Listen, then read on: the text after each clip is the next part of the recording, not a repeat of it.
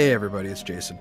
Welcome back to another episode of Dubious Knowledge. And this week we are exploring exploring. We are talking about Zon-Kuthon, everybody's favorite um, pain boy, everybody's favorite uh, Golarion Cenobite. Like James Jacob had a Hell Hellraiser hard on and has decided to put Pinhead in his game. So, what's what's happening? What's going on, Cori?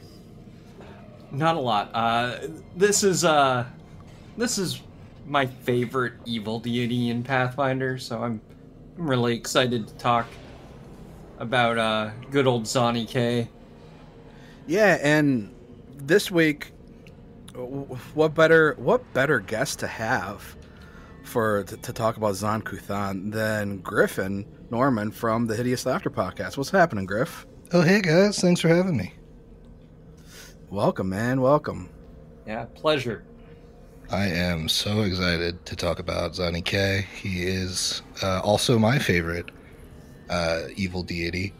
I've played many a character that have been touched by his presence, if not worship him. Uh, and I think he's just like one of the most interesting core deities. Yeah, he does have a really interesting backstory, and um, I won't get too much into it. There were a couple questions when I was reading some of the literature on him that I wanted to touch base on.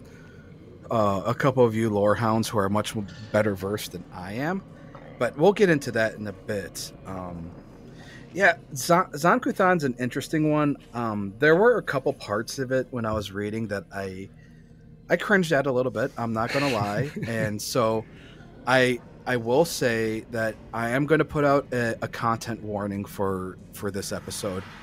It's probably not going to be nearly as graphic and disturbing as the Lamashtu episode because that one was really tough to get through.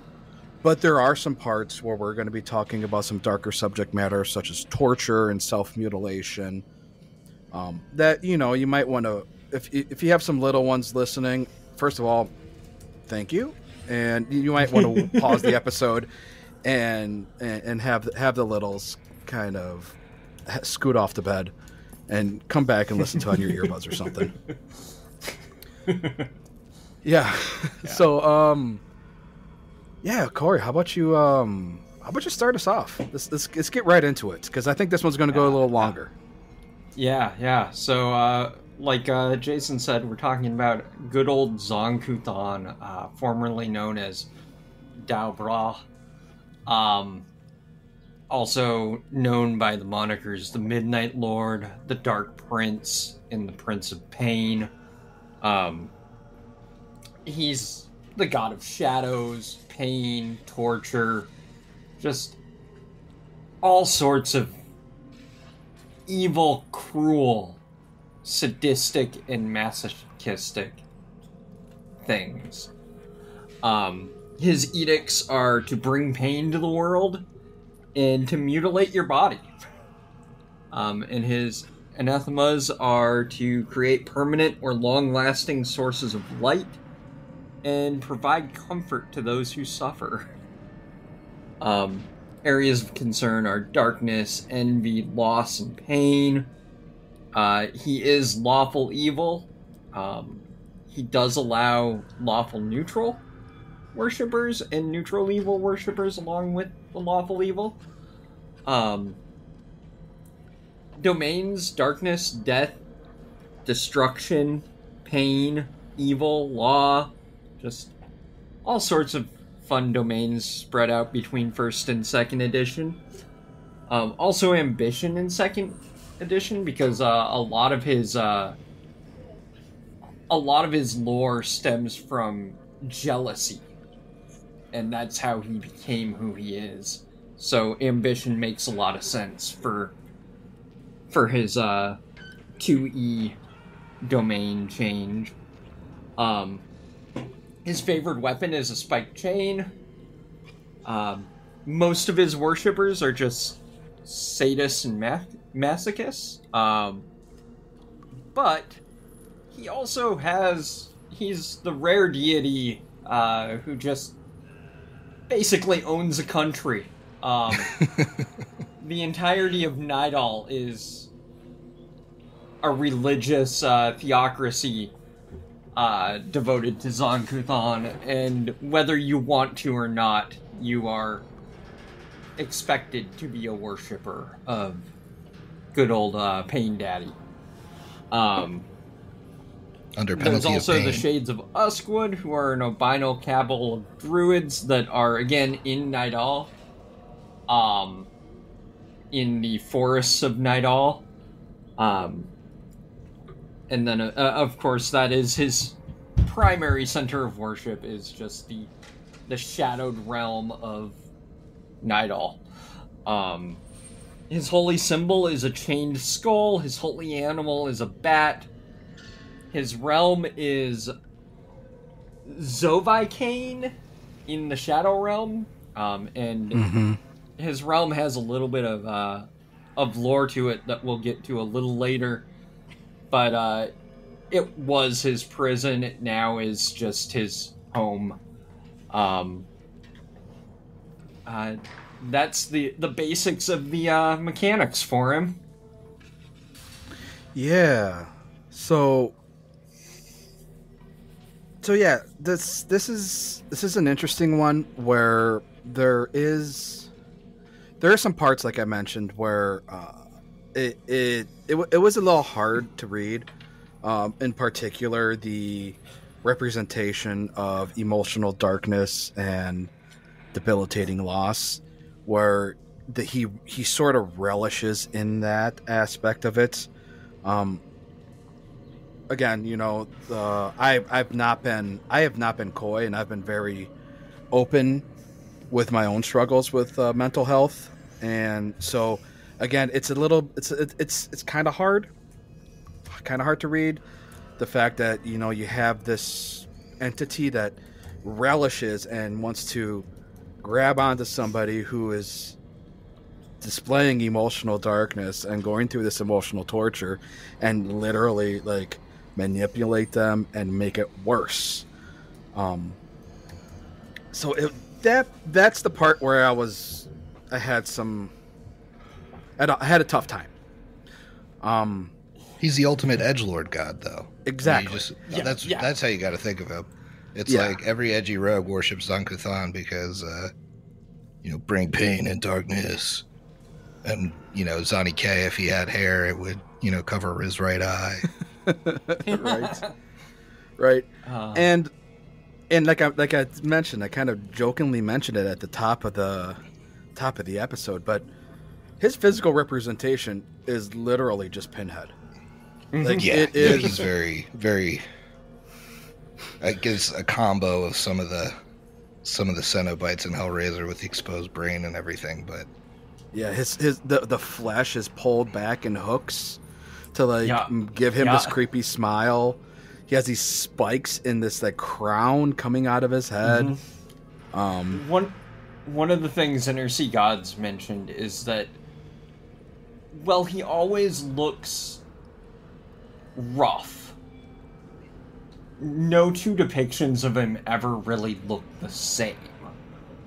Uh, because the mutilations just vary based on who's depicting him. There will be times where he's missing an eye and has it replaced with a broken gemstone, or like Griff me- mentioned, the back half of his head is just missing and has exposed brain, or like you mentioned, the hooks pulling his mouth wide open into a a nasty grin, a nasty lipless grin.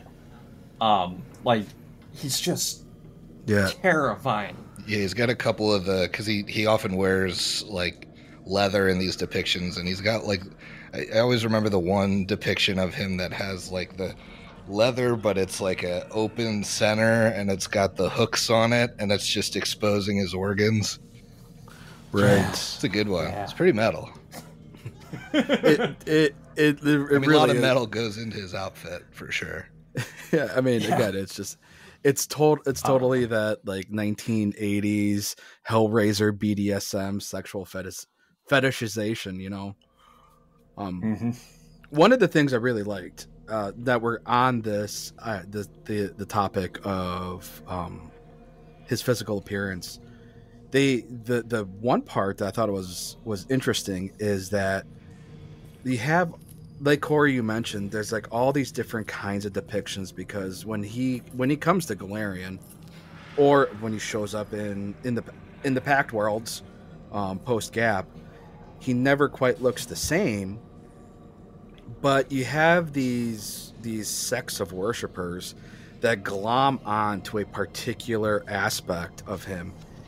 And the priests in those sects like revere that particular like manifestation of Zon-Kuthon to the point where they inflict those same wounds. Like if they if he shows up with like a huge like his two bones on his forearms exposed they'll try to mim- emulate that you know mm-hmm. and so his worshippers try to reproduce that that that visage.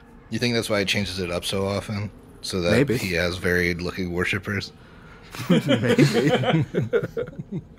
He's like, listen, I can't keep I can't keep these mutilations to one part of my body. Come on, we're gonna move around here, and I'm gonna, you know, this group's gonna be the one arm crew. This group's gonna be the Joker smile crew. Uh, so, like last time with Pharasma, uh, one of the books I I did some reading in this this time around was uh, Inner Sea Temples, um, which has the uh, the Cathedral of Exquisite Agony, which is the the high church in Pangolais in the capital of Nidal um, and it's got like an eight-page article on on this church showing exactly how it's laid out, exactly what goes on there, and uh, like the opening room of the Cathedral of Exquisite Agony is a piercing shop. And it's the only room that is open to the public without an escort by one of the uh, one of the Kuthite church.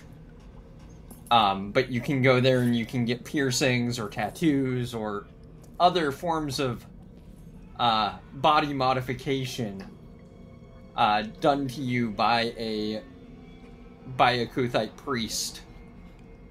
Um, and then the that same Kuthite priest will also take reservations for the the cathedrals for torture rooms that they have that are specific types of torture. Um, I think my favorite one of those was uh, was a room with uh, an enchanted angel statue that provides anyone who is touching it constant regeneration.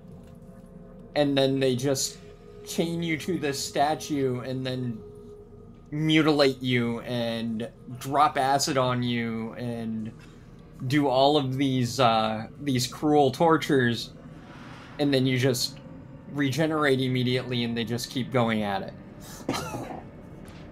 yeah, that's that's pretty similar to the actual ritual that they follow to become a member of the Umbral Court in Nidal, which is like their kind of governing body.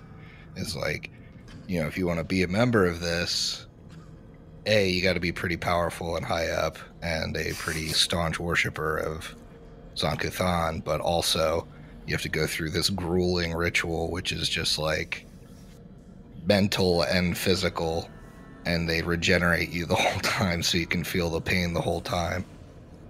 And dropping acid on you. Like literal acid, not like yeah, LSD. Yeah, not, not the fun drug kind. They're, they're pouring acid on you. I guess dropping was a bad word, but no, they're just pouring acid on you it, and letting you be. boil alive.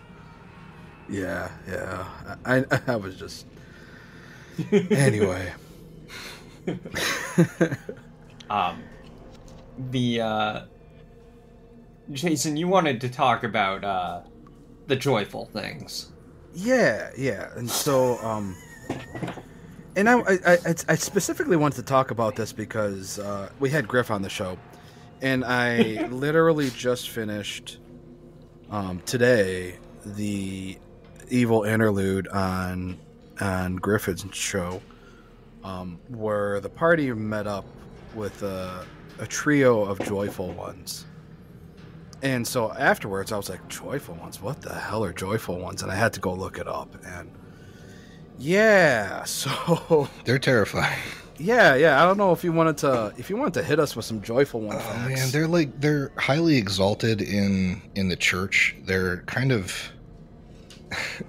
they're people that have completely given their life to pain. And so they undergo this kind of horrific transformation where um, their all their limbs are amputated, um, and they receive blessings from Zon-Kuthon for for doing this, and they actually you know transform from a human or whatever they once were into these things called joyful things that uh you know in like in Pangolais in the church and stuff like hang from you know hooked chains and Uh-huh. kind of like Yeah.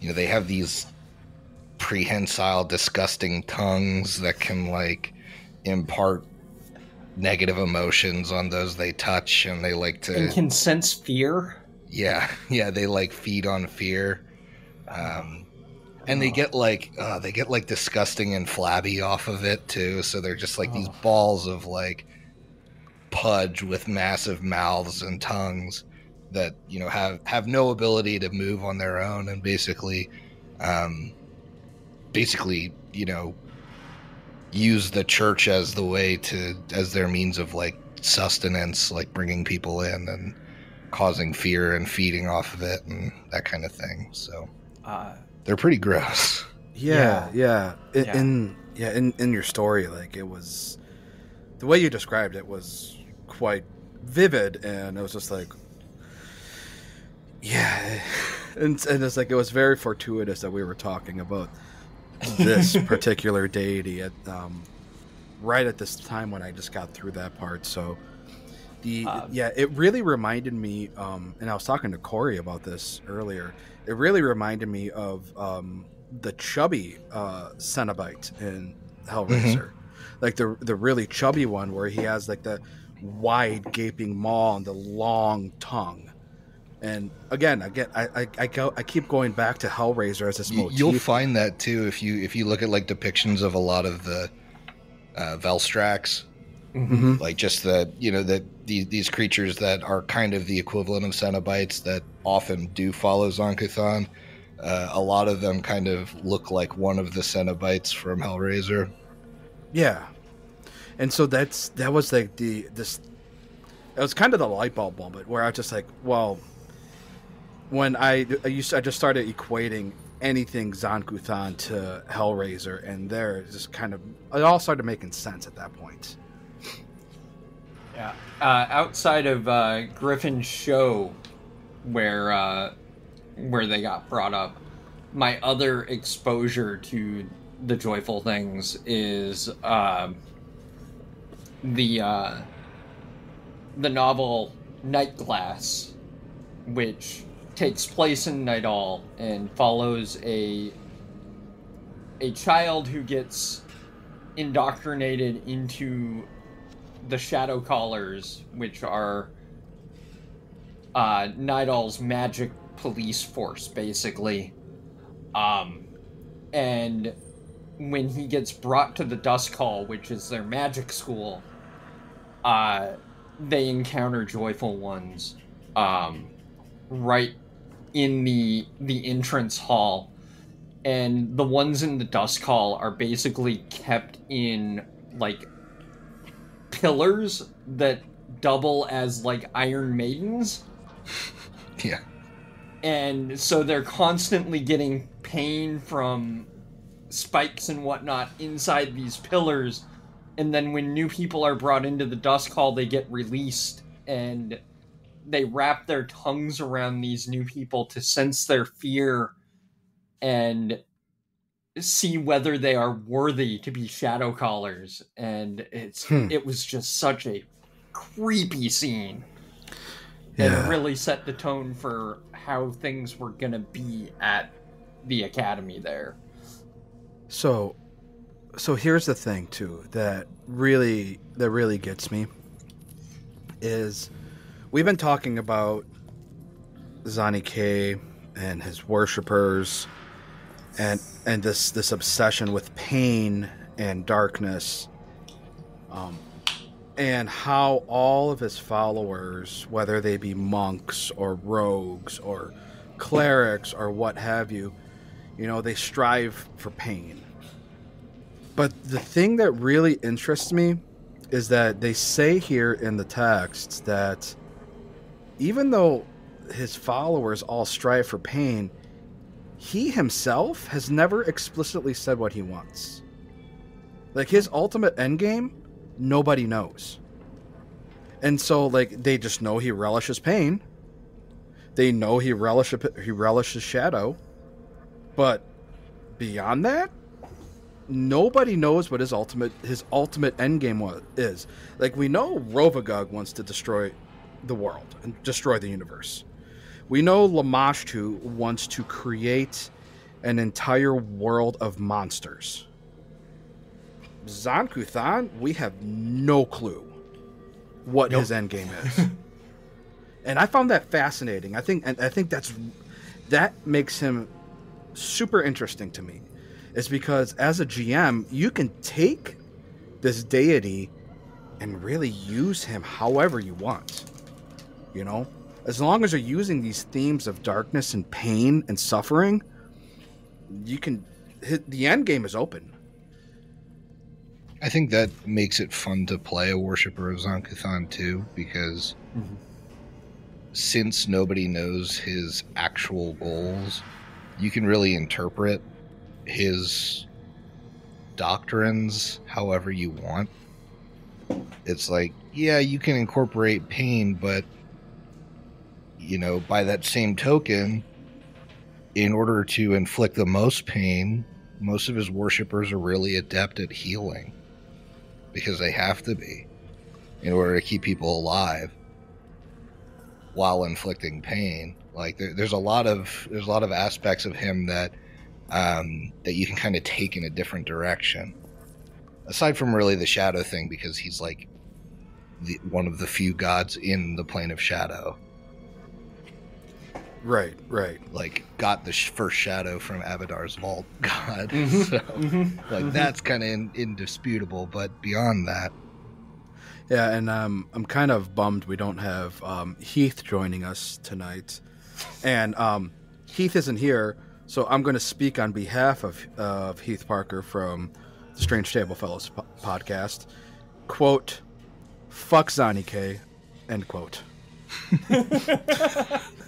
yeah he hates him with Yeah, good well, he also went. He also went through Signal of Screams, so yeah, yeah. that's fair. yeah yeah it, it's fair um the uh so i i think with that nice segue about the first shadow griff i, I think it's time to talk about a little bit of lore huh um because uh that that really ties into a lot of uh Zani K's history but uh Mhm. like, so he started as a god of art and beauty. He shared portfolios with his sister Shelyn. Um, and just was a, a god of good and beauty and art and joy. And they had a bit of a civil sibling rivalry, and shortly after the chaining of Rovagug, uh, in which Dou-Bral helped uh, to chain Rovagug by driving pillars into Golarion surface that became known as Star Towers that keep Rovagug pinned inside the the planet's core. Um, he got into an argument with Shelyn and then just kind of noped out of noped out of reality for a while. Uh, abandoned his followers, abandoned his sister, and disappeared. Um, and then he he came back and uh, wherever he had gone, something had uh something had done something to him and he was no longer the the god of beauty and joy and was now a god of darkness and pain. And uh that caused Shelyn to really start trying to redeem him and they went to war. She stole his glaive thinking that that was what had corrupted him but it wasn't. And then Abadar decided rather than have a a war from for the god or a war between gods ravage all of reality, he was going to give uh, Zon-Kuthon a choice, and that choice was you can take any one thing from the first vault where Abadar keeps the first of everything. Um, but in exchange, you have to remain imprisoned in the the shadow plane until the sun no longer shines on Golarion. And Zon-Kuthon took this offer, took, as Griff said, the first shadow from the the first vault. So Abadar no longer has the first shadow. It belongs to Zon-Kuthon. And then some some Alghollthus decided, hey, let's bring a giant meteor down on the planet and cause the sun to be blotted out for a good long time. And suddenly, Zonny K is like, alright, I'm back! Technicality, baby. okay, that was okay. So that was the um, the question I had, where it wasn't clear in in the text I was reading about his imprisonment, but you made that clear. So Aroden was the one who imprisoned him. Abadar.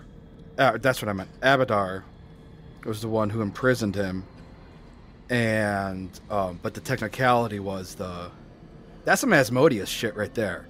Yeah, That's yeah, some there- very there's a Asmodeus technicality there, and then it's very unclear whether Zon-Kuthon actually knew that was going to happen. I think that's something that's like kind of left purposefully Or if he even is- had a role in it. Yeah, because because the the story of Nidal then is mm-hmm. intrinsically tied to Earthfall as well, and so this this thing happening that technically stopped the sun from shining, brought this god back to power, created the oldest nation in Golarion, uh, Mm. perhaps um, through you know his intervention and uh, and you know made him then this core deity uh, stopped a war you know but made him this core deity that is now you know the master of shadow Yeah, Yeah. that's And he- fascinating. and he took that first shadow that he he won from Abadar and used it to reshape his prison within the plane of shadow into his deific realm. So that's what he did with the first shadow is he warped it to his own twisted desires to make his his plane. Yeah. So um, I do want to quote this from the Inner Sea Gods text where it says, where you had mentioned how um, Dou-Bral shared a portfolio with his half sister, Shelyn, um, which I thought this this quote is really was really cool, and I want I just want to read it out loud here. Beauty became mutilation, love became misery, music became screams, and the art of creation became the craft of torture. And so we're they they really kind of take that and show us how you can take the one aspect of something and really twist it into something else, which I really which I really enjoyed. And we are joined by Mike finally. Hey, hey, everybody. Hey, brother. Sorry, I was. Hey, Uh, Better late than never, Yeah. brother. No problem. yeah, I, I took a little trip and I got I got lost at the in the dark tapestry. I don't know what happened. By dark tapestry, I mean the cold grips of sleep.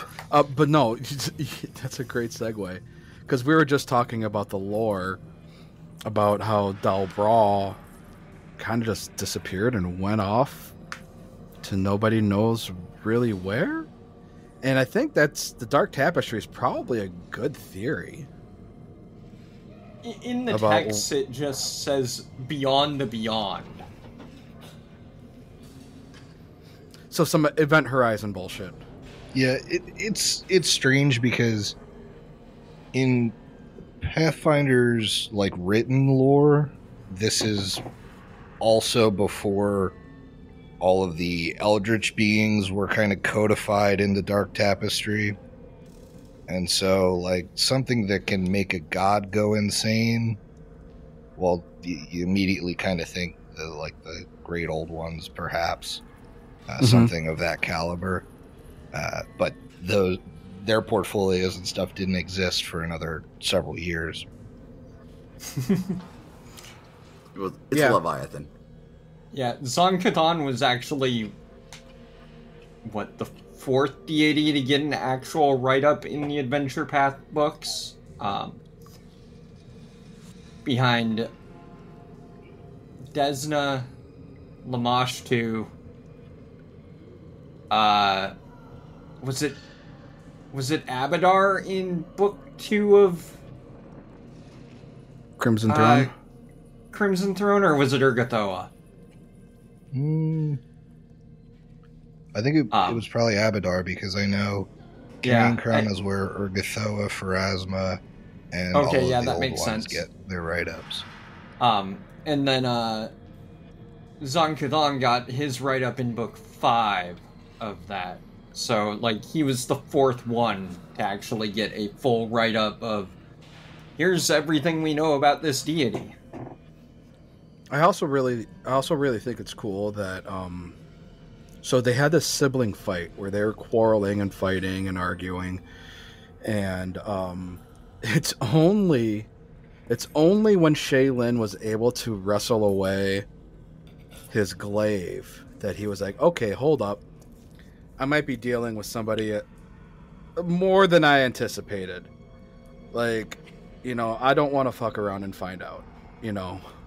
She legitimately just took my glaive from me. Let's hole up. Well, then she kept it and made it her holy weapon. Exactly. Yep, and he took the spike cane instead. Um, also, the the only reason she resorted to violence at all is Zon-Kuthon took their father and mutilated him and turned him into his herald. Oh shit! Really? I. I did not know The that. Prince in Chains. Oh damn! I thought you were going to say that he was the one who, who did the violence first, because I know The he, they say called- that he he he like stabbed her hand with his nails. Yep.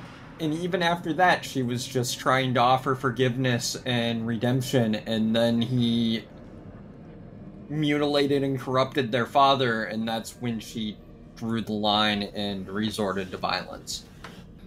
Um, The thing that the thing that I find fascinating is that beyond Shelyn, like Griffin said, this is the ultimate edge lord. He doesn't give a fuck about anybody else. nope. He doesn't care about any of the other deities, like at all. Like, He it- doesn't. Yeah, exactly. He doesn't care about anybody. He doesn't even care about his own followers, to be quite honest. Like His they, they- there's followers multiple. Pa- care about other deities. yeah, yeah. There's multiple passages where he they, he says, "I don't give a shit about my followers." Yeah, what followers hate Desna. His followers Hardcore. Desna with a fiery passion because she Yeah. represents hope within darkness. And so, um, going back to the Inner Sea Temples book, uh, there is a room in the Cathedral of Exquisite Agony that is uh I can't remember the name of the room, but it is essentially these are the enemies of the church room and it's the desecrated bodies of 10 Desnans that had been captured and tortured and killed. And they are forever trapped in the room as wights. And this is a this is what happens if you're an enemy of the church room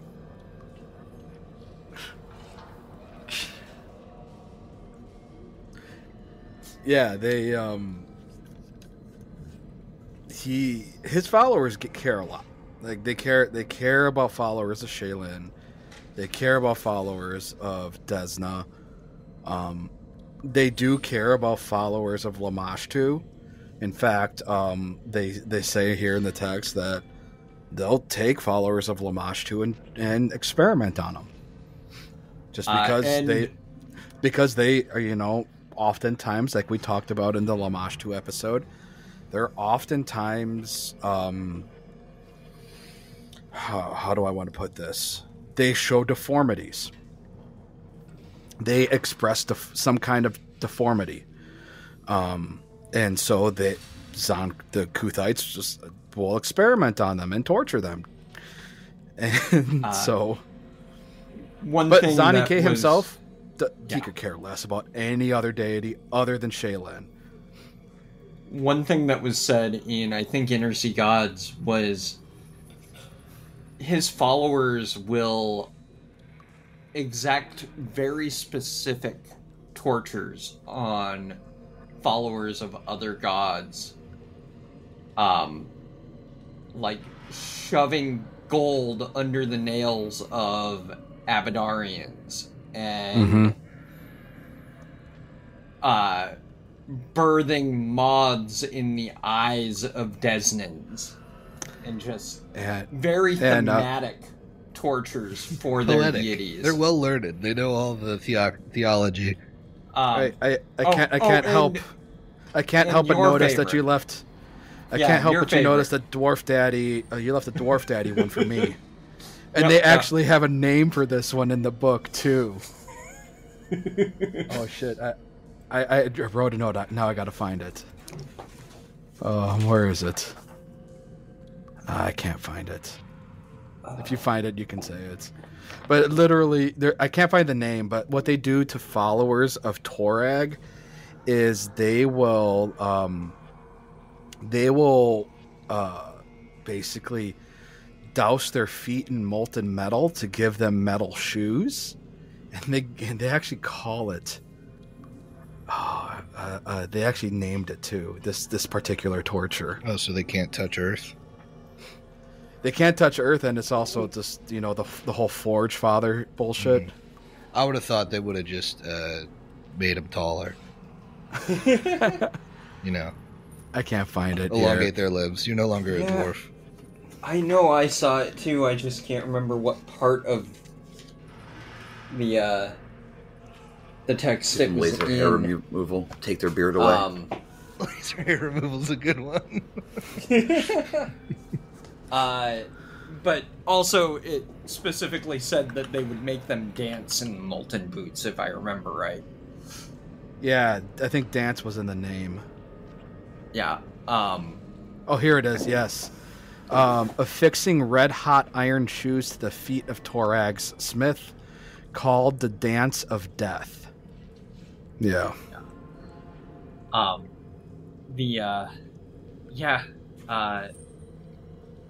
So uh, that that goes into the ways that the the Church of Zon-Kuthon celebrates. So let's let's talk about holidays, should we? Yeah. Before we go into get into that, I, I do want to talk about the sh- the church structure just a little bit. Okay. um because this is one of the um, again this is it's a common theme that we've gone through on basically every every one of the deities except for Pharasma.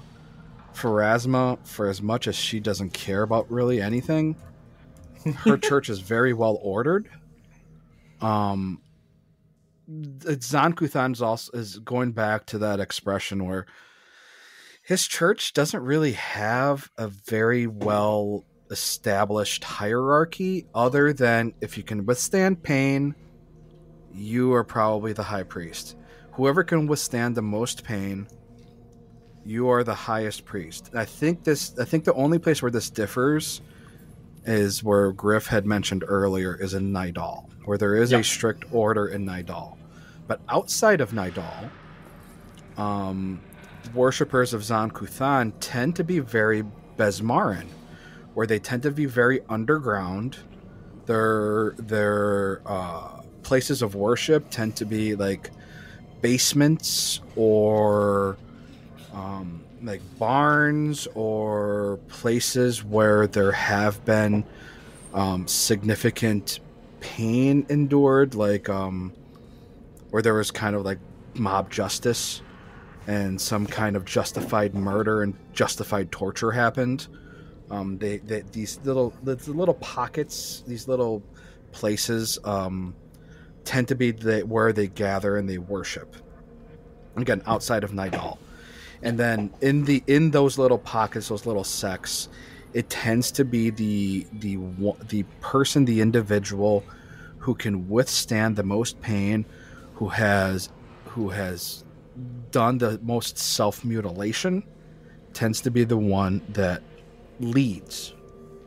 Now, within Nidal, I'll let I'll let Griff. I'll let, I'll let you take that hierarchy since Well, uh, the hierarchy there is ten thousand years old. so, the in in Nidal, I guess if we if we go way back uh, to Earthfall, you know, Nidal was spared from Earthfall by Zon-Kuthon, uh, and there were these kind of three most powerful leaders of the Kelid Horse Lords, who were the um, the people of Nidal at the time um, went around to like all these holy sites, and they they came to one where Zon-Kuthon like kind of appeared, like whispered to them, uh, and promised them that he could save their country.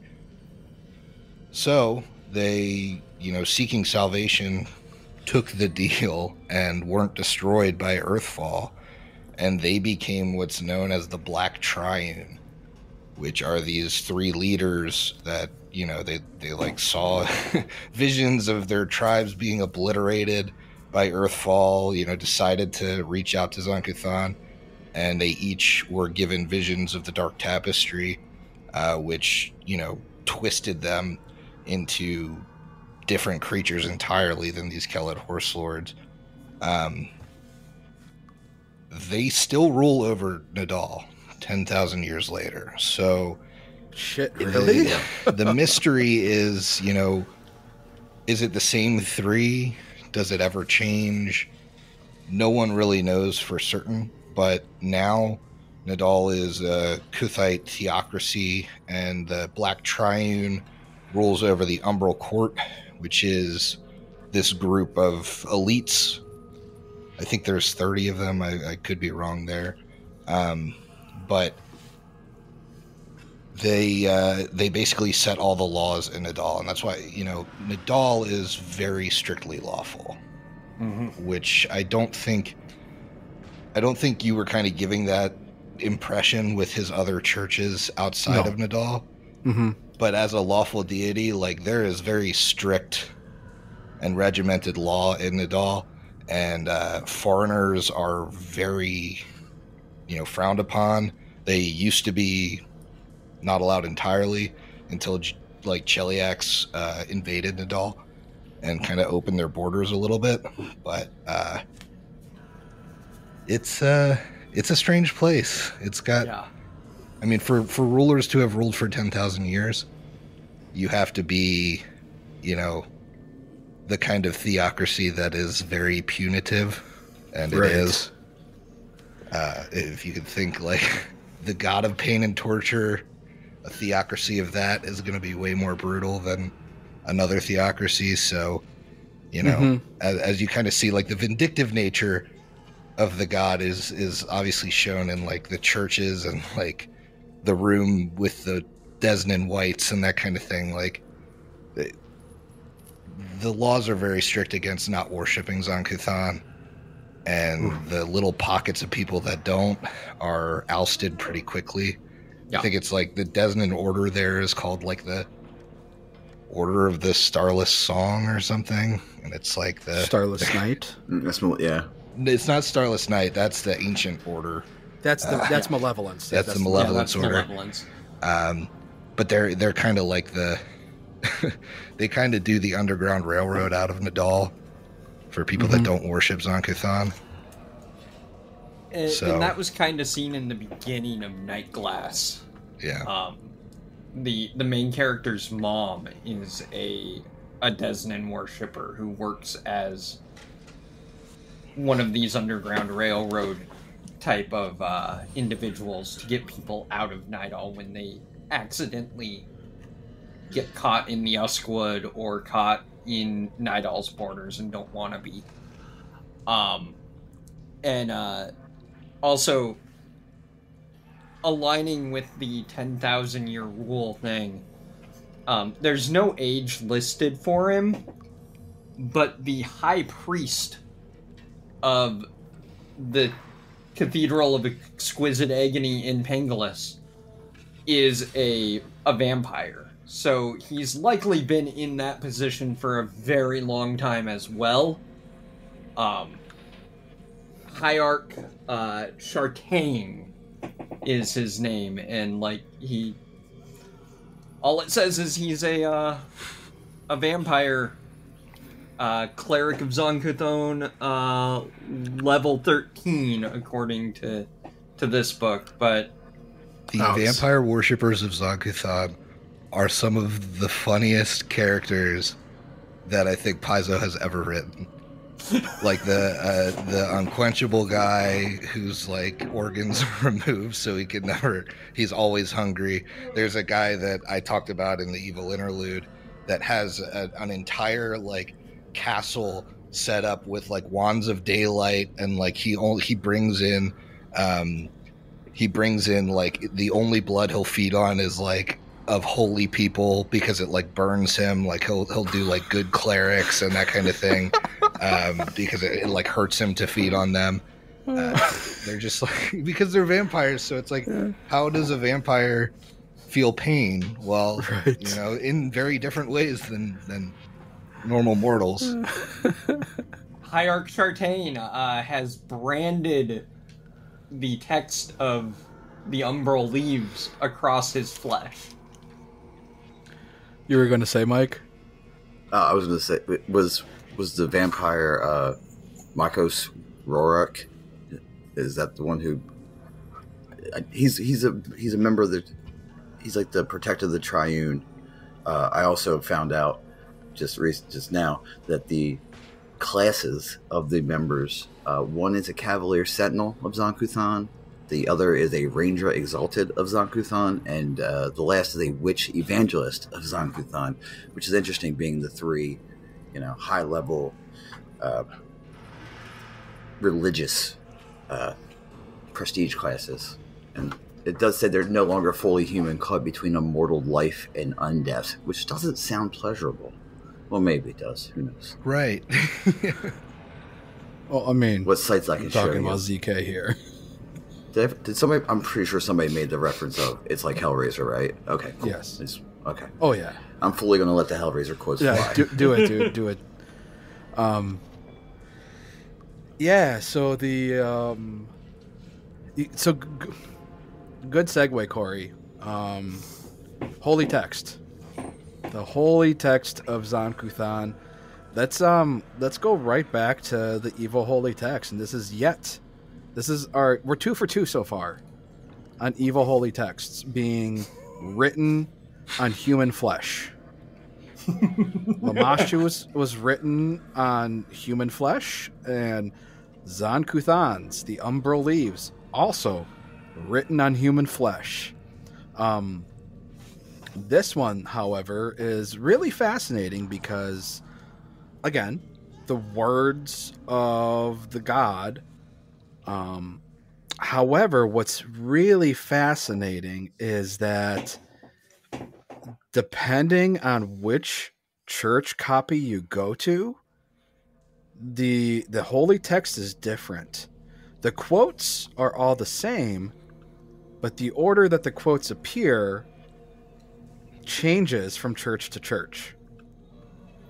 So it's um and also the form of the text changes from church to church. Uh, Yes. Some some churches uh, use flesh from the head to make the holy text, and the cover is the face. Um. Others use other pieces of the body's flesh.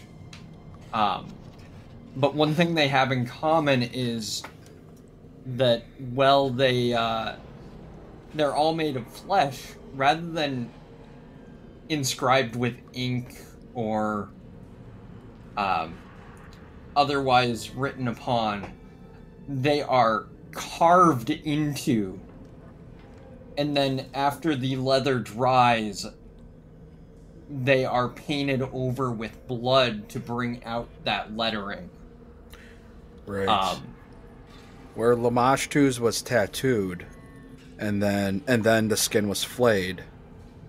This one was the yeah, like you just described. What part of the body was the bookmark? Finger. tongue i would imagine Is tongue skin or would tongue just all uh-huh. Like I never- rot away? I never thought I'd wake up. To, yeah that's I, I, Yeah. I never thought today. I would guess you wake can up to think jerky a this. tongue, right? Yeah.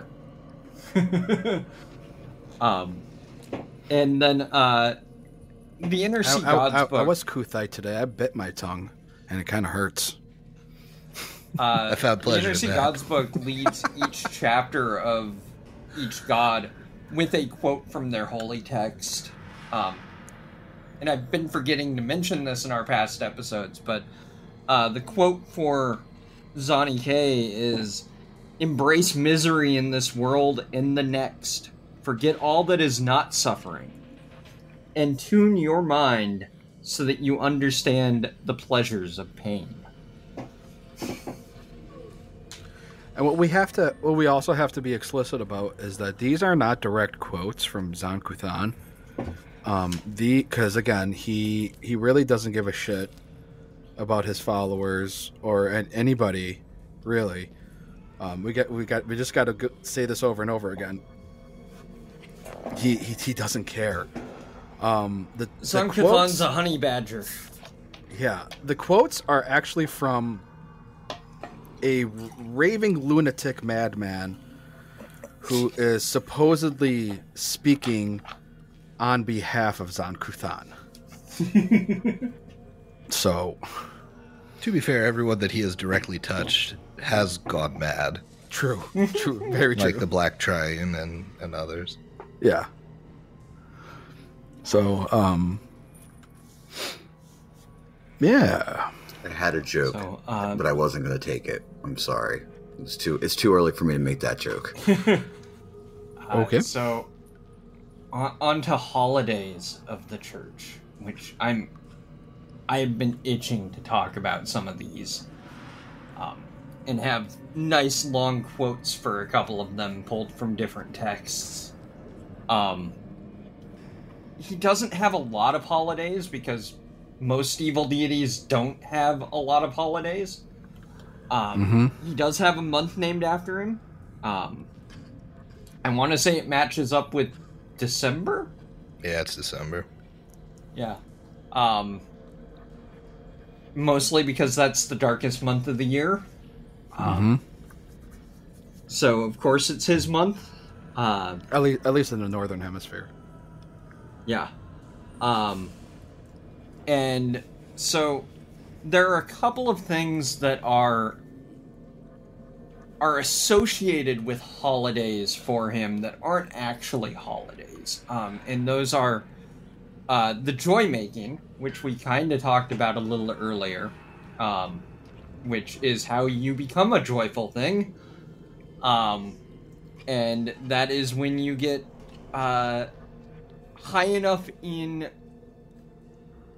seniority and influence within Nidal to request this service uh, so that you can be closer to your deity. Um, and the Church of Exquisite Agony actually has an altar that is dedicated to the art of joy making. Um, the altar is in the the shape of a stainless steel skull with chains coming out of the eyes, just like Zon-Kuthon's holy symbol. But in the eyes are just gaping holes into which the severed body parts of the the new joyful things fall. Um, so uh, the the quote I have for the joy making is from the opening passage leading into the exquisite or the Cathedral of Exquisite Agony's article. Uh, joy making? That doesn't sound too bad, I said nervously to the Kuthite priest accompanying me.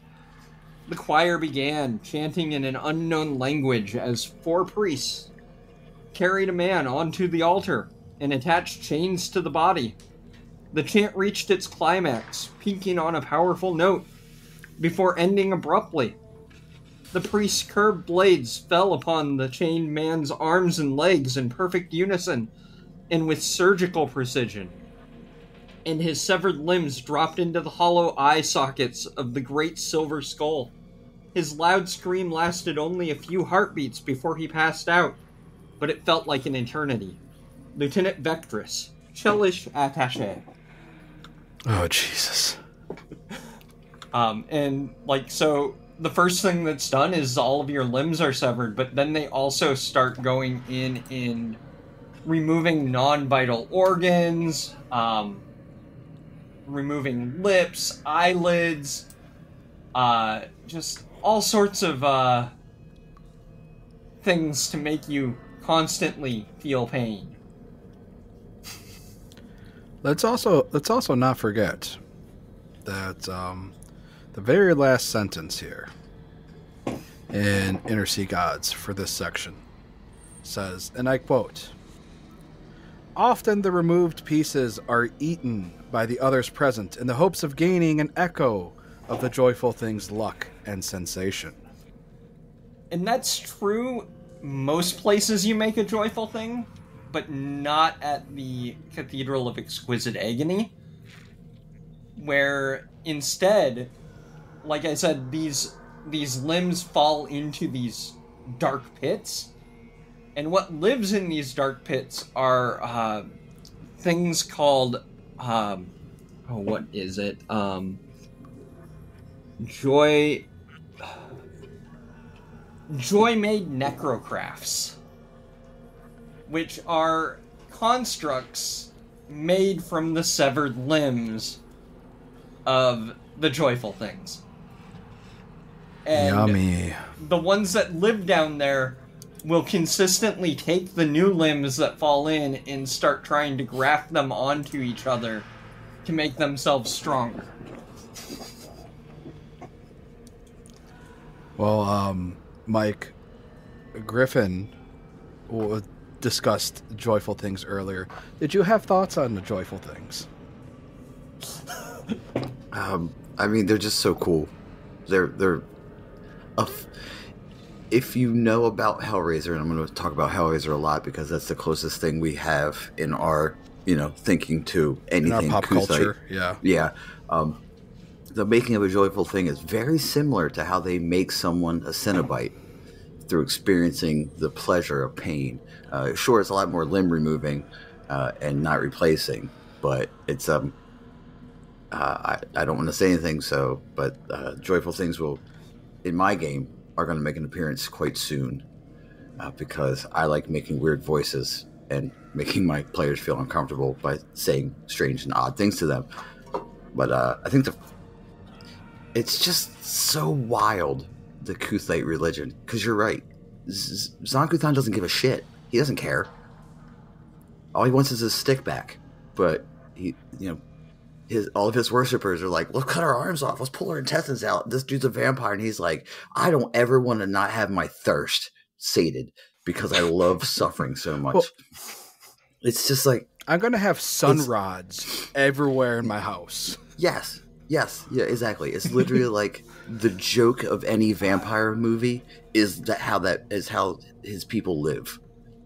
Through constant pain and constant agony, they find uh, a oneness with their deity. And I mean, uh, as far as evil gods go, Zon-Kuthon is probably one of the more more popular, I would assume, Oh yeah. Yeah, for for for player characters, I should say. You know, evil Yeah. evil written characters. It's like Urgathoa, let's go, and you know, Lamashtu. Lamashtu has a whole. I don't want to say ancestry anymore because it's not going, but she has credit for creating two, basically. You know, Zon-Kuthon only made one thing. But yeah, the um, yeah, I think you're absolutely right. It's just like he just doesn't care. I mean, he he he cares just a minuscule amount enough where he will bestow his clerics with their spells. Like so, he, he cares just a just a little bit, enough that he he will say like, okay, this cleric is praying to me to get you know harm. Sure, take take harm for the day. See, I don't think that's But that's about it.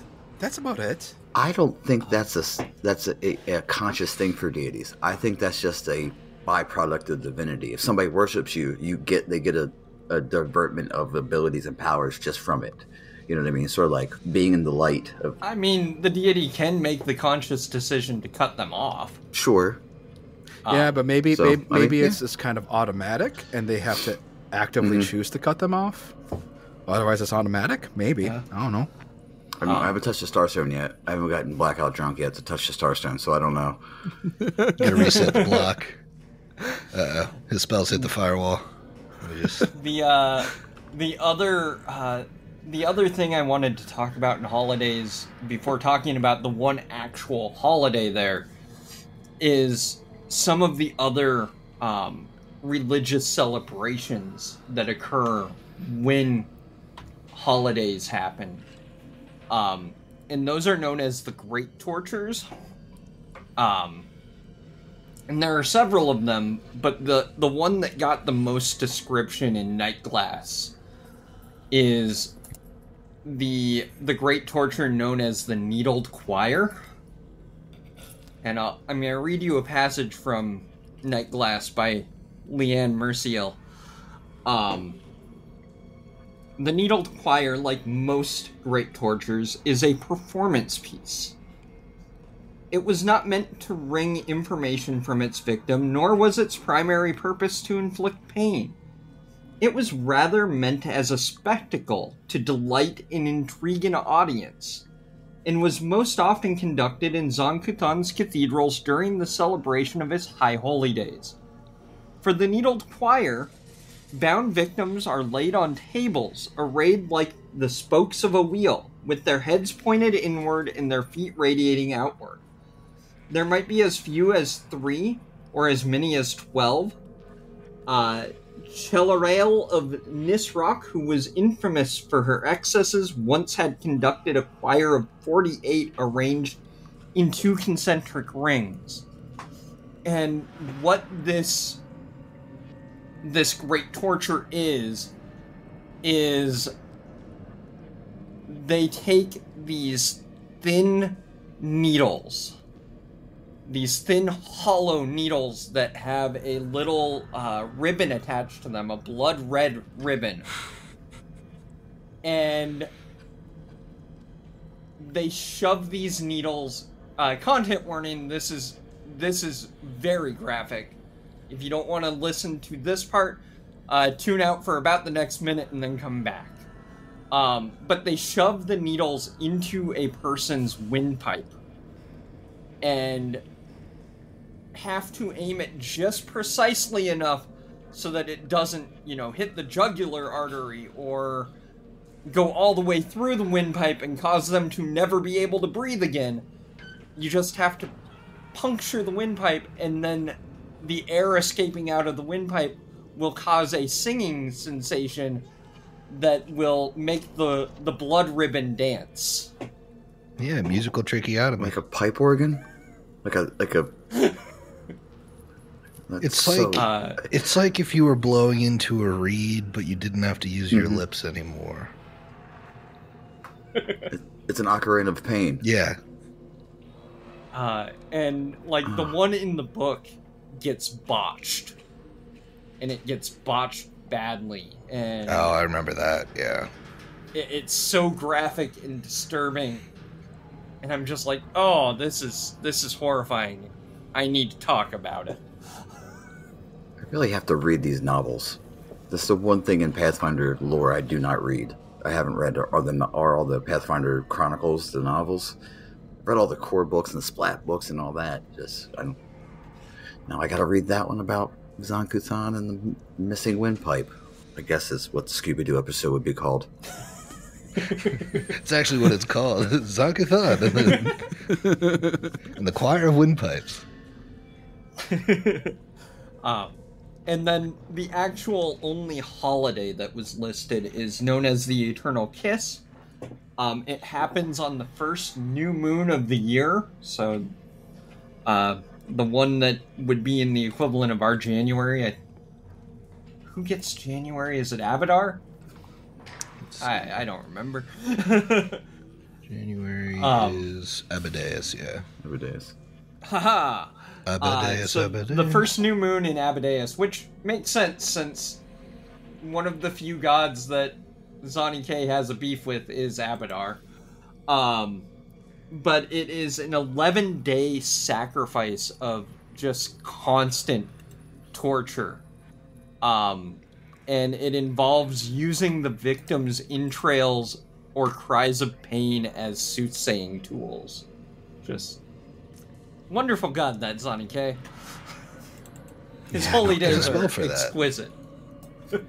Well, you, you didn't, which is I think the the standard thing everyone says about Pathfinder is you didn't read the the last line, uh, which isn't technically the last line, but the victim of this is kept alive and pampered and pleasured for ten days, Yeah. and on the eleventh day is when all the problems happen, and the sacrifice is said to speak in the voice of Zon-Kuthon himself at the end. Th- those are the, the holidays of Zon-Kuthon.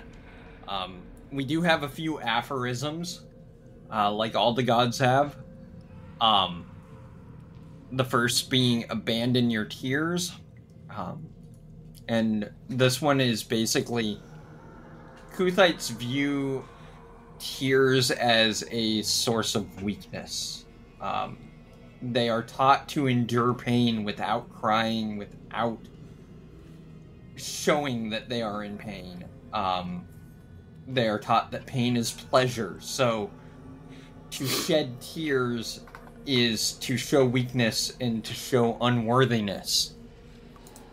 Um, so that is one of the aphorisms of of the cult.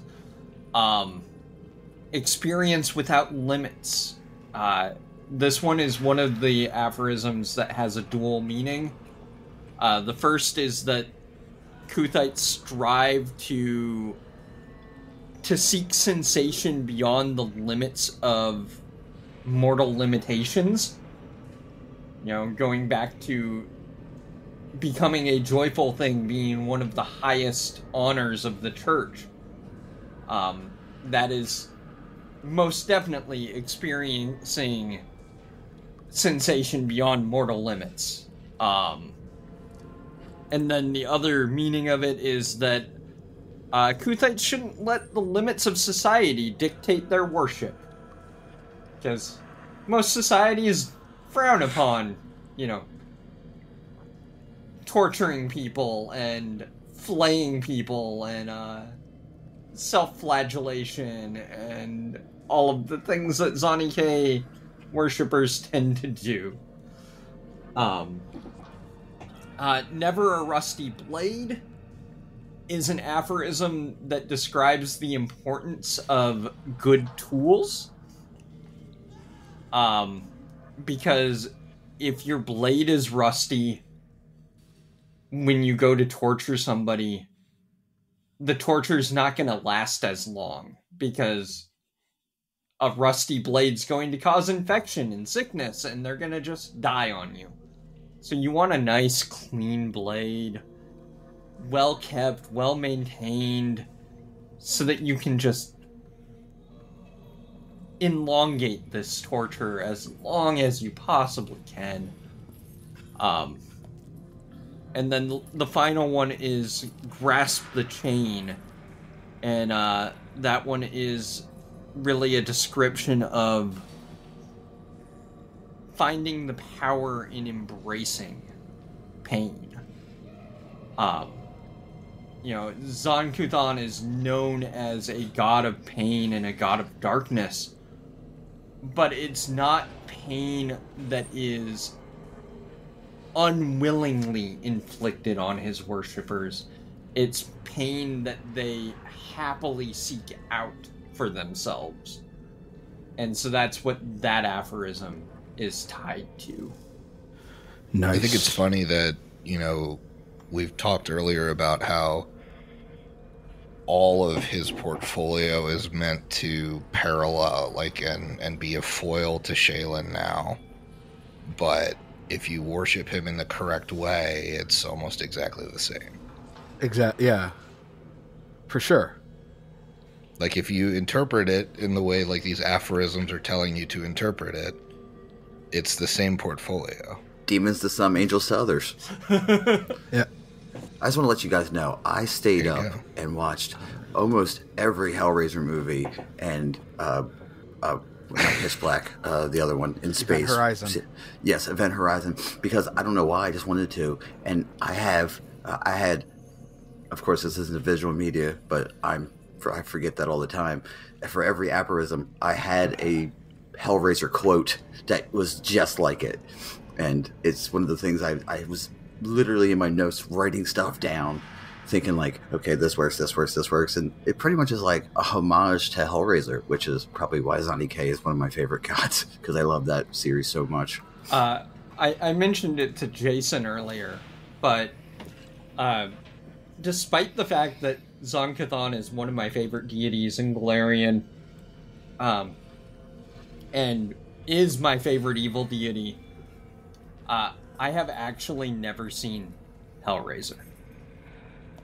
How? And I was I was say, I was I was saying earlier that the original, if you e- even if you if you can get you got you you got to put your blinders on and get past the orientalism of the the puzzle box because that's just 80s yeah backwards Yeah. stuff um it's slow the original's really a really slow movie but it's good. But the one from 2022 oh it's the best. was really good. It's the closest thing to the really books. freaking good. It's the closest thing to like the way the books actually are. And also it's called the lament configuration. Jason just to let you know. I, I know but the, but everybody I- knows I- that as the one of my- puzzle box. I, I I, I think after this conversation, I'm true actually going to go watch you those two. Uh, just And you should you, the the really cool thing about the 2022 one t- is um the main Cenobite the hell priest was uh, the uh, the actor that plays it is a trans actor Mhm. and she did a phenomenal job. Oh, just abs. She like she's probably the she was the best in my opinion. Um yeah, for sure. Um she did doug bradley I proud. do wanna i'll say that quick go for over sure yeah the Starfinder stuff. I, I pulled it up here because, again, Heath wasn't here. Um, unfortunately, they they were recording tonight. They they had they had some. Tonight's their backup recording night, and they had they had to reschedule. So, um, he's still around. He's he Zani K is still one of the core Starfinder deities. Um, after the gap, still lawful good, the god of darkness, envy, loss, and pain. So again, same portfolio. Centers of worship for Zon-Kuthon are Akiton, Apostae, the Diaspora, Eox, and Verces. makes sense. Same holy symbol, skull with a spike chain through its eye sockets. Um, the they upgraded the weapon this time. It's it's no longer a spike chain. It is now a shadow chain. And so I looked up a shadow chain. Um, it is basically a spike chain, but it does cold damage. So the, the they're a cryo weapon that generates super cold uh, gas, and they can damage and incapacitate a target. So they this is a analog reach disarm trip weapon that does cold damage. Um. Yeah, so he's still still kind of still there. His edicts are to bring pain to the universe, bring darkness to where there's light, and seek new expressions of agony. Anathemas to create permanent sources of light and allow a subject a quick death, and prevent comfort to those who suffer. Again, same, basically the same exact. Almost the same exact edicts and anathemas. Exactly. It's like he hasn't changed. Yeah. Yeah. He, At again, all. again, again, I don't think he cares enough to change. He just upgraded his Um, weapon. Uh, Pain doesn't change though. and darkness. Pain through the gap. Yeah, Yeah. pain pain is pain is one thing that's consistent. You know what I mean? So it would be you know um, So the, that's the that's all, that's all I, that's all I got for uh, post gap stuff. The last thing we have. I have one thing that I is, thought- Uh, his, uh, his planar allies, Yes. and uh, much like, much like uh, Pharasma last time, he is one of those uh, deities that does have an entire, uh, an entire planar ancestry, essentially that is his. Um, and that would be the Velstracs, which Griff mentioned earlier. Um, and Velstracs, formerly known as Kytons, um, also known as Chain Devils, uh, they are, as has been said many times, very much essentially just Cenobites from Hellraiser. Um, each of them looks a little bit differently, but they all look gruesome. um, they're and like they have like demons and devils. They also have demigods of their ilk, um, called uh, Kyton demagogues, I think. Yep. Um, and the one that we have an image for of the Kyton demagogues is uh, oh, she's essentially the the face from that one Doctor Who episode, the moisturize me, oh yeah, the, the, last human. moisturize me face. the last human in existence. Yeah, the Yeah. last human. Yeah. Um, and that's the picture we have is just this stretched out face on a on a rack. Um, a little bit more gruesome than the Doctor Who version. Um, but Makes sense. yeah. Uh, and then uh, he does have some specific, unique servants. Um, again, Griff talked about one of them earlier, and that's uh, Dominic the Unquenchable, uh, the vampire that uh, has eternal thirst because he uh, doesn't have digestion organs anymore. So, whoops. Um, the Umbral Shepherds, which are strange otherworldly servants, uh, devoted to Zon-Kuthon who possess, uh, use their powers to possess creatures and further the agendas of their masters. Uh, Vreet Hall, who is a specific Velstrac who's covered in wounds that he inf- or that it inflicts upon itself, in which transform into other organs, each performing their normal function. Um, Nihil the Ashbringer, who is an Ashmead who was given to the dragon Kazavon to serve as an assassin. Uh, you could probably mention Kazavon himself as one of Zon-Kuthon's biggest allies, uh, but that's more for spoiler corner. We'll get to there in a minute. Um, and then, uh, last but not least, is the Prince in Chains, uh, who we also talked was- about earlier. And yeah, that was one I wanted to pick your pick you guys' brain on, because you you had mentioned you had mentioned that bit of lore, and that blew my mind. I had no idea. Yeah, uh, he is the the corrupted remnants of Thron, who was the shared father of Shelyn and Zong or Dou-Bral. oh, so Um, not the not the uh, the Chiss heir to the Empire admiral, the Imperial Navy. No. not that and, Thrawn. uh, nice. it's this guy right here, uh, because Nice. apparently, uh, apparently, Shelyn and Dou-Bral were born from a wolf A primal wolf spirit daddy. Is, I think, the way Um, like Romulus and referred to. Remus. Yeah, yeah, the uh, prince that howls. Yes. Um, and uh, the little uh, the little block of lore that we get underneath the tech or underneath the stat block is Zon-Kuthon has stripped the flesh from this spirit wolf and replaced it with haphazard layers of metal, leather, and necrotic tissue to create a terrifying herald. The Hmm. Prince in Chains stands 18 feet tall and weighs nearly Jesus. 3 tons. Jesus, eighteen feet tall. He's this.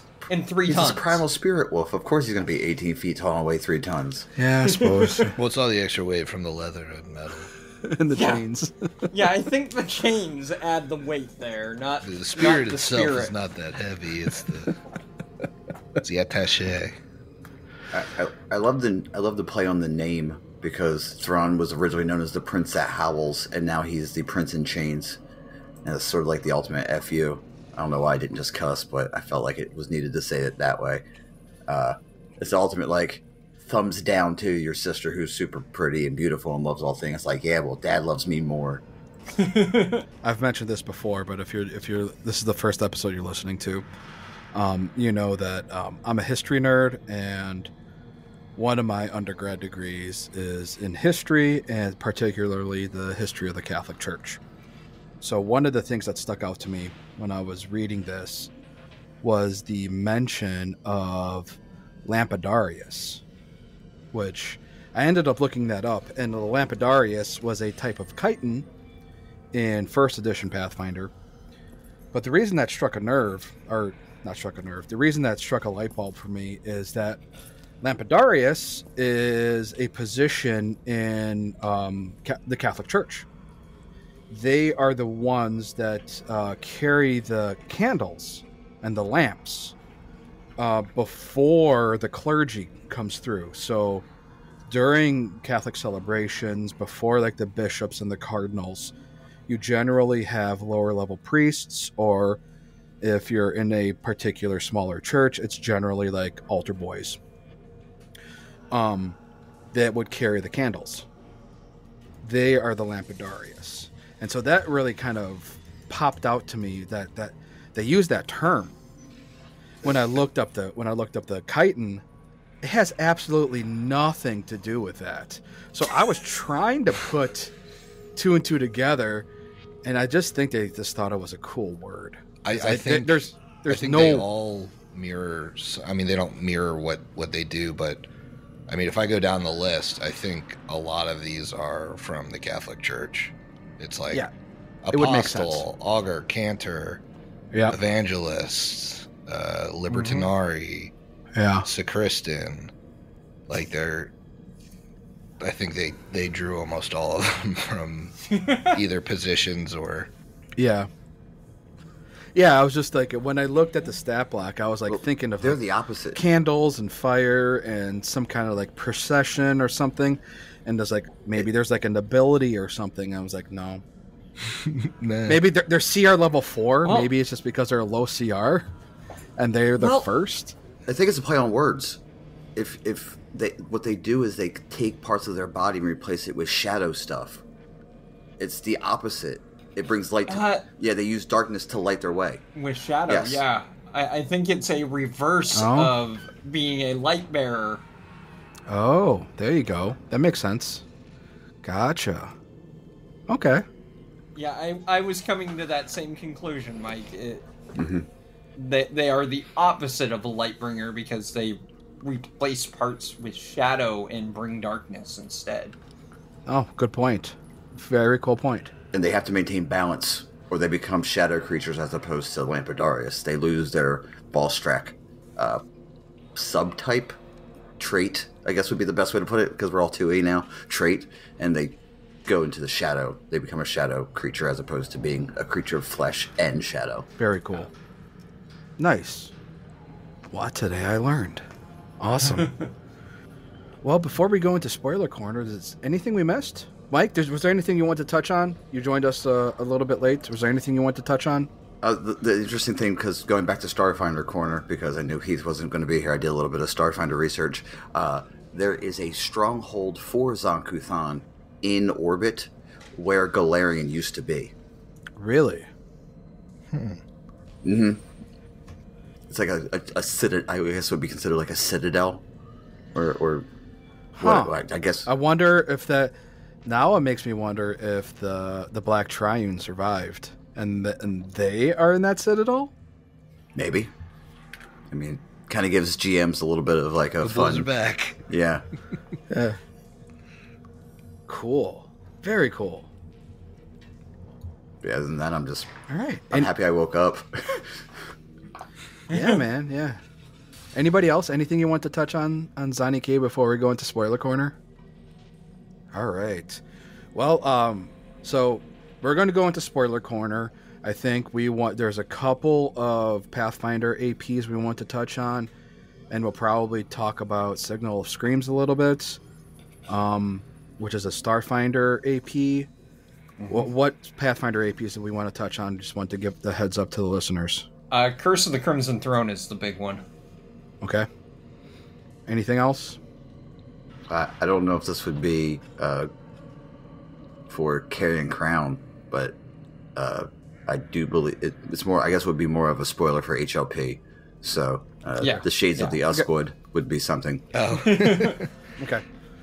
if you So, yeah, well- to the evil interlude, uh, Yeah, we'll be we'll be there. spoilering uh, Griffin's podcast and um, well Griffin's other podcast, which Yeah, Cori, which Cori and I both GM'd uh, all the way through as well. So, um, but before we get into those, um, let's quick do a roundtable and do some outros.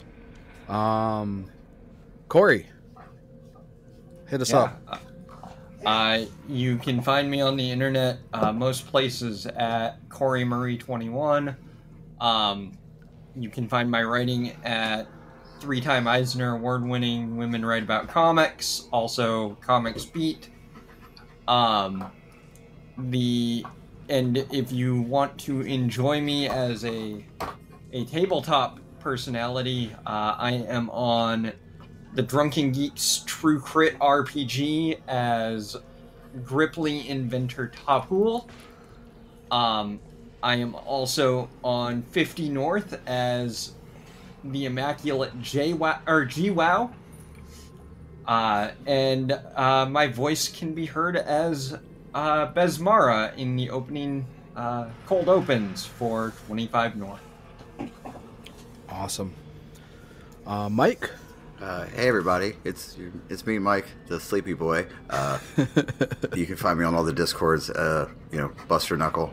Uh, I, you can find me on 50 North too, because that's one thing I forgot about last time we got together. Uh, as the lovable old corruptive uh, goblin Rum Grum.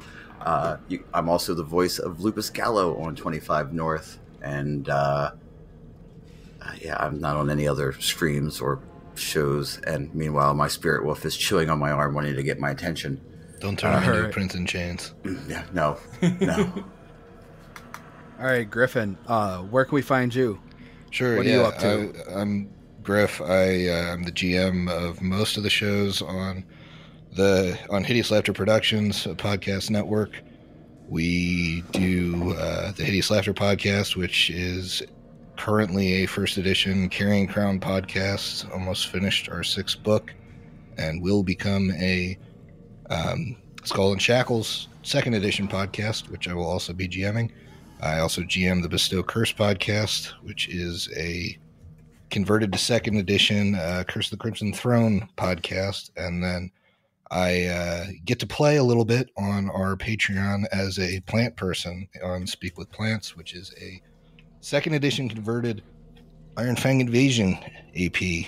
Uh, so you can find me at uh, at GM Hideous on um, on most social media, but you can find the podcast at at Hideous Laughter Pod or at Laughter Hideous, uh, depending on the depending on the platform, uh, or you can just go to the hideouslaughterpodcast.com. Uh, so yeah, Yeah, if you um, and you all know me, um, I'm your GM Jason. Um, so yeah, check out um, if you want another, if you want some more pirates in your in your ear holes, um, you can listen to Skulls and Shackles after you, if you after 25 North. So, like we talked about in in Griffin's Zone of Truth show, um, or Steve's Zone of Truth show, HLP's Zone of Truth show. um, if uh, to, if uh, the 25 North podcast is the Muppets Treasure Island, um, Skulls and Shackles is much more your serious pirate show. So it's going to be a good time, man. And we'll I'm see. We haven't recorded any of it yet. Very sure it turn into Muppets Treasure Island. it might be the Muppet Uh, Show. It's gonna have Chris. Yeah, he's a Muppet. So How does he know? So yeah. Um, all right, spoiler corner. So uh, what do you got? You got a box there. Yeah, this is a box. You got a It's, D6. it's yeah, it's a it's a big old puzzle box D6. I can't find my lament configuration. Some that's somewhere around here in my office. So I opted for the next biggest uh, puzzle box that I can find, and uh, this is it. nice. as big a cube as is nearby. yes, exactly. Um, It's the it's So- the D6 of death. Whenever I need to roll a, a, a single D6, which is never because you know five book five of an AP, you don't ever roll a single D6. Well, you roll it when you're choosing between six players. Sure, Uh, sure. Generally, I just go for That's a good call. so. Uh, so let's uh, quick get um, st- the Starfinder AP out of the way. yeah. Uh, Signal of Screams.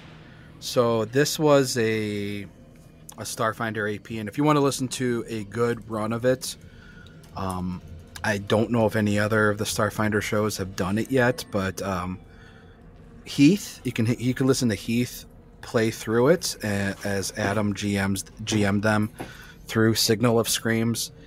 Um, it's it's a wild one, man. Um, It's very This- dark. Very, Yes. very dark. Which, of course, it is, because it's all about the Shadow Plane and Zon-Kuthon. Yeah, so so this one really like I had mentioned or I don't know if it was on if it was on recording or if, we did this off of off of recording when we were, we were talking to Sir Vertigo, um, Steve. Um this this one leaned heavily more into like shadow and darkness, much more than like fear and torture. At least that's the way I felt.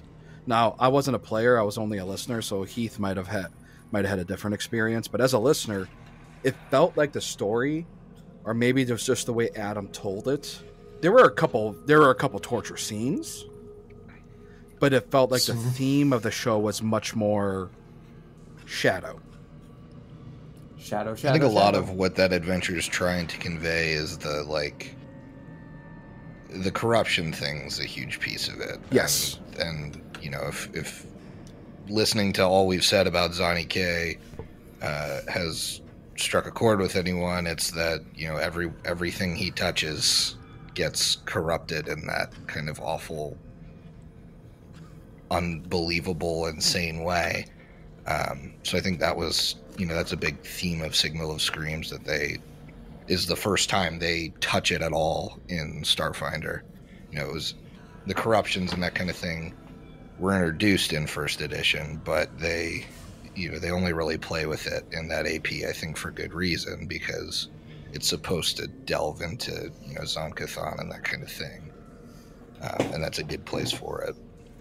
Yeah. Right. And, and like Yeah, you and- said, Adam did a fantastic job of uh, of really uh, straddling that line between over the top and just enough. Right. Um, I think, and I think too is, um, and Adams talked about this himself in their behind the scenes show, is that his player group is not a horror group. Like none of his players are into horror movies at all. So I think that was that was a big part of it too, where he wanted to, and I mean that's your that's your job as a GM is you you need to direct it direct the adventure for your players. Um, you need to know your audience, so to speak. And so I think he was able to pull back just enough, to your point, Cori, to pull back just enough where you, you, you keep you, you, you keep ju- a little bit to get the, to keep that flavor, but pull it back enough to allow the players to at least enjoy the adventure without overwhelming them. Yeah, I think you could certainly take that adventure path darker with another player group. I think Absolutely. that's kind of where it's meant to go. Mm-hmm. It may not have been, you know, I think, you know, knowing the STF crew, it was the next uh, level group of adventure and the only one at that level range available at the time, so they played it. I don't know Yeah. that it was the best pick uh, given the players, but um, but yeah, I mean, you certainly have to tailor that adventure to any group with uh, session zero because it's uh, it, it's gr- there's gruesome parts of it. There's gruesome parts of it that can be taken to you know a level that is really gruesome for a group that enjoys that. Um, but for a group that doesn't, you know, you really want to pull back like Adam did, um, because the horror elements are certainly there in that AP. Yeah, it can get uncomfortable really fast for the wrong group. And so a Yeah. testament to a great GM is being able to tailor that to the group as needed. So kudos, Adam. Always kudos. That's think that's exactly what I was going to say too, Cori. I'm like, it's also a, a, a shine on Adam for being able to do horror well, and Griff, you as well. I mean, you you handle the horror and the the dark with just enough right and left. I guess would be the best way to put it. Right brain, left brain is the way I describe it. Because like horror is very easy to go too far and it be martyrs as opposed to being Nightmare on Elm Street. You know what I mean? So like, there's there's right.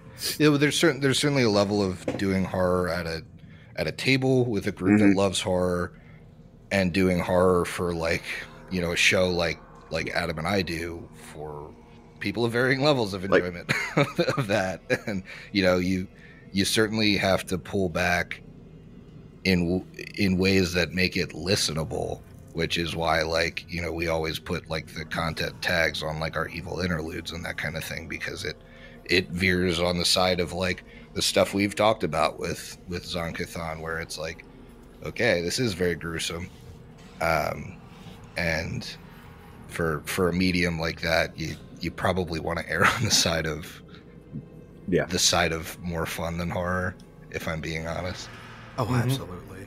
Yeah, to your point, Mike, it- you can definitely take it to martyrs or, you know, um, high tension.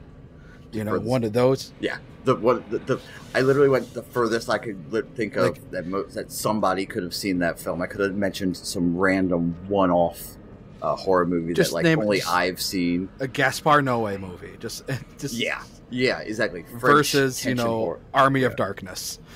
right Well, that's also a trick in, in horror. You could also you could take a real serious horror game and then just for a little bit flip it to silly, just to give your players that exhale. You know what I mean? Like horror isn't. Ar- an Army of Darkness adventure would be fun, though. yeah Oh, oh you mean like uh you mean like trees that enjoy Yeah. the taste Oh, of yeah, uh oh, yeah, of piss? yeah. uh, I mean, it's I beyond would- the scope of Zon-Kuthon's anathema I was gonna say, or have like a water a, a water gun fight against vampires, and the water just happens to be holy water. Something like that, you know. When you have someone in your group that can make things out of nothing, and they say, "Can I make a, a water gun?" and you figure, like, I guess so. And next thing you know, they're super soakerins vampires. That'd be with- pretty easy for you to do. yeah, you Get super it filled soaker with holy vampires with holy water. That's what you do. You you monster squad it. Yeah. That was uh, wasn't that in um? Oh Jesus! Now what- I'm now I'm blanking on the name, with Kiefer Sutherland and uh, Lost Boys, Yeah, Lost Boys. I don't think Mhm. they. Do they have what? the Frog Brothers. Yeah, the Frog. oh Brothers. yeah, the Frog Brothers. soakers. Yeah. Aye, Anyway, aye. anyway, so um, so yeah, Signal of Screams is um the big one for Starfinder. Um, I don't know if there's any other Starfinder adventures that really touch on Zon-Kuthon at all. Um, but there are so. there are a few there are a few uh, Pathfinder because Pathfinder's been around for a lot longer. Um, I think the big one, like we mentioned, was Curse of the Crimson Throne.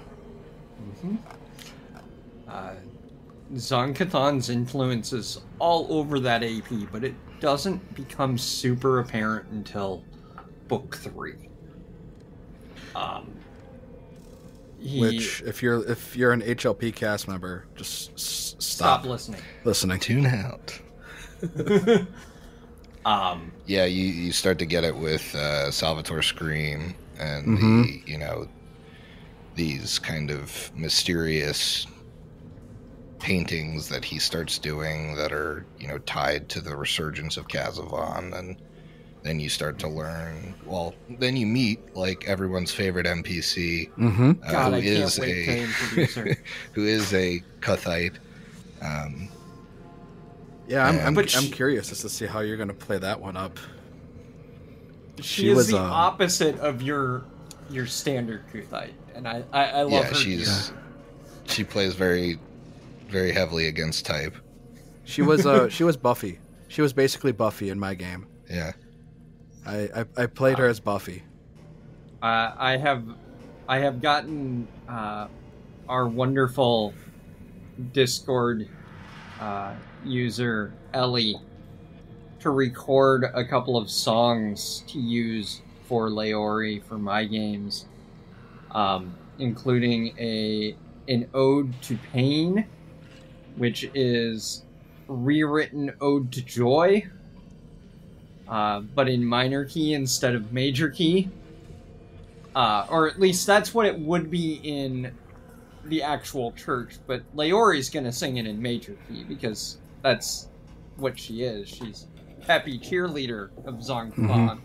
Mhm. Um, and then also, um, when I introduce her, I'm planning to have her using her uh, spiked chain as a jump rope. Uh, so Ellie has recorded a a Zon-Kuthon esque uh, jump rope song for her to be singing as she is jumping rope into into my adventure. You just you just uh, do a parody of One Two Freddy's Coming for You. yeah If I remember right, that's what she did. I think that is the tune she did that to when you Yeah. shared Yeah. it with me. Yeah. Yeah. Um, so you have you have Laori, uh, obviously in, in book three, who um, you know comes to the party looking for Scream. Um, they realize his importance. They realize her ties to Zon-Kuthon, um, and you know that starts kind of the evolution towards what is you know one of the greatest dungeons in in Pathfinder First Edition period, which is Scarwall, um, which is one of the aforementioned like a castle built around one of the aforementioned star towers Yep. Mhm. um, that Dou-Bral, you know, plunged into the earth to keep Rovagug there. Um, and that's where it, it was formerly Kazavon's home. You know, Kazavon is, in essence, the BBEG um, Mm-hmm. in spirit. Uh, and, you know, you're, you've learned his story through Scarwall, you know, learn about this ancient blue dragon worshiper of Zon-Kuthon, basically. uh, and find the weapon to defeat him. Yeah. Uh, did Or you mention the used to defeat other the other Kuthite NPC? Uh, Shadow Count Sial. Um, who is the the yin to Laori's yang. He is your traditional Kuthite, very gruff and serious and all about no nonsense pain. Um, and he has a he has a Velstrac Eidolon. He's a summoner, and uh, just has a Velstrac that follows him around and helps him out. So So he permanently has the box solved. Yep. Yeah. so you know the, the adventure is originally. completely colored by ZK because um, obviously Queen Ileosa puts on Kazavon's artifact. Her mind becomes corrupted by Kazavon, basically, um, and is you know going to spell doom for Korvosa. Um, and the party essentially needs to stop her, and also kind of stop Kazavon from coming back. Yeah. Is like kind of like the final like thesis of it. It's like you're stopping her, you're stopping all these people from dying, and you're also stopping like him from, you know, She's- making a she's play kind at of she's being kind put of his together. avatar. Yeah, she's kind of his avatar, you know. At least that's the way I've always played it. Is that like she is him on on land. She's like his. She's like the manifestation of his personality. Yeah. is what yeah. like starts to happen. And and you know she certainly gets like some of his power too. You see that in uh, I believe it's book three when she takes like a crossbow bolt to the temple and just like shrugs it shrugs off. it off and then murders the guy that Yeah. did it. Yep. um, But it's very interesting because Kazavon as a character, you know, he he's not the BBEG technically. Um, you don't fight him, but like he is statted out in in the book and there is a world where you know he has these like seven parts that were taken apart that are always like trying to get back together uh, that could reform him. So like his fangs are the crown and like his wings are like around some throne in the shackles buried deep uh, in a in an island or something. Like his skull i believe is like somewhere in the realm of the mammoth lords. So he's he's like this essentially planar ally of Kaz or of Zani K is has been destroyed but is like a CR25 elder uh, elder worm blue dragon that when put together uh, you know really sucks for the party Has Is Kazavon a Dracolich? No, just Uh, a, no, an he's- ancient blue dragon. yeah yeah. Yeah, he's Just- not statted as a just a- Dracolich. Although I am kind of surprised he I can't remember if he's statted with It's a disassembled blue dragon. um like cleric levels or anything. Like I think he just Let me worships take a look. Kazavon. I don't think he like gets divine power from him. I'm not sure about that. I'd have Has to anybody stats. read um, Shadows at Sundown? I've read the part pseudo of it. the pseudo sequel.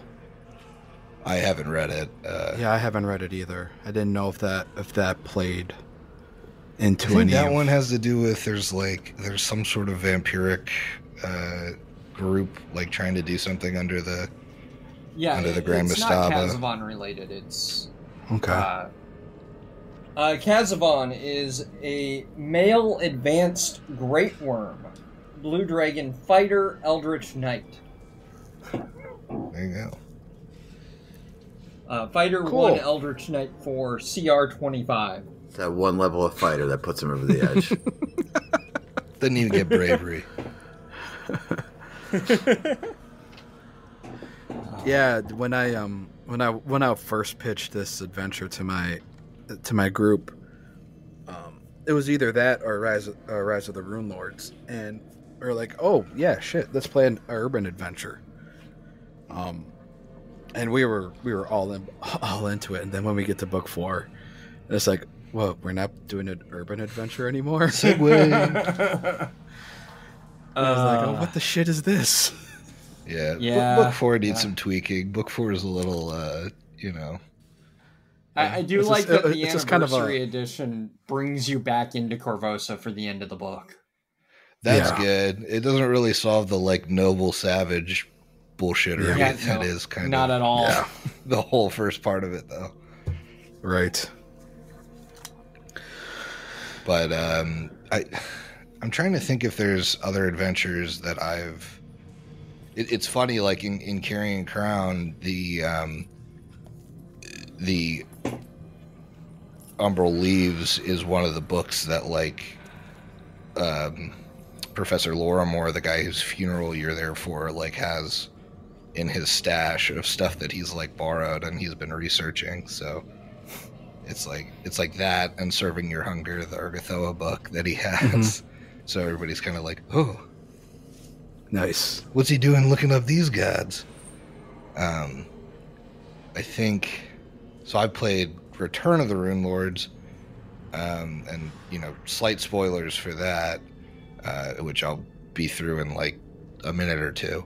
But um, you do go to the Shadow Plane for for a good portion of that, um, and you like you go to Incariax's plane, not. Uh, not Zon-Kuthon. So Incariax is one of those chitin demagogues that we talked about. Huh. And so you get to see at least like kind of the flavor of like what being next to uh Zani K's deific realm is is like, and you get to see like what a demagogue is like. There's a lot of there's a lot of like chitin en- enemies. So it's I guess in theme very similar, but you don't do anything with Zon-Kuthon specifically. Yeah, I don't think I've ever I've played anything else where ZK had a big a major role. Yeah, Nothing that I can uh, think of. I'm not seeing a lot in like doing a quick uh, word search in my uh, in my adventure paths folder. Uh, comes up a, quite a bit in the uh, the Hell's Rebels and Hell's Vengeance, which kind of makes sense because of the relationship Nidal has with Cheliax. Um, Comes up quite a bit in Giant Slayer, I guess. Yeah, I was the um the oh I, I didn't know but I didn't know that about Giant Slayer. Um, at least at least when, when I listened to GCP it, to, to up to the point that I stopped listening, I don't think I ever remember them listen, talking about Zon-Kuthon. It's probably some of the like giant priests or something. Yeah, probably. I know that Um, when I was when I was working on converting Way of the Wicked, um, the third party evil adventure path, it was going to be heavily Zon-Kuthon. Yeah, I know that Um, one's like specifically the Asmodean thing, right? it was it was A- it was Asmodeus and Zon-Kuthon was going to be the two big ones that were going to be a big part of it. Yeah, yeah. Asmodeus is the is the primary one. Uh, I haven't yeah, read was- this module, but uh, apparently there is a a Zon-Kuthon themed module from first edition. Uh, the Midnight Mirror Yep, that uh, one. is set in Nidal, um, so I'm sure he takes up a good chunk of space in that module. But I've not read it, so I can't give you any spoilers, unfortunately. I've not either. Well, all right. We're about the two hour mark. Anything else? I think Mark? that's all I've got.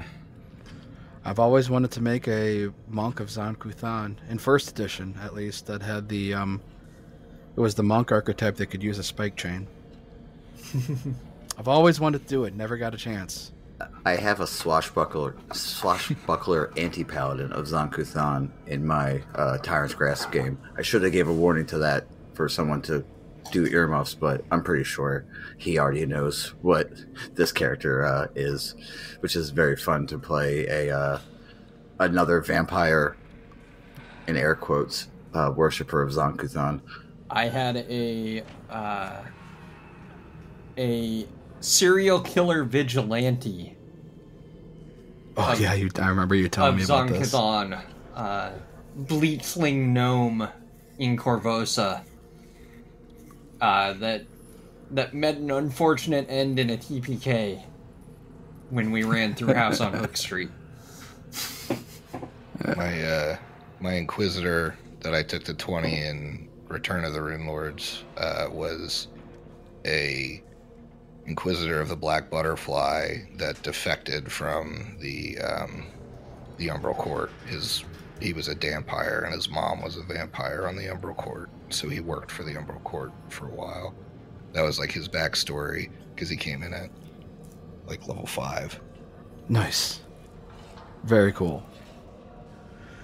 Well, all right, folks. That's it.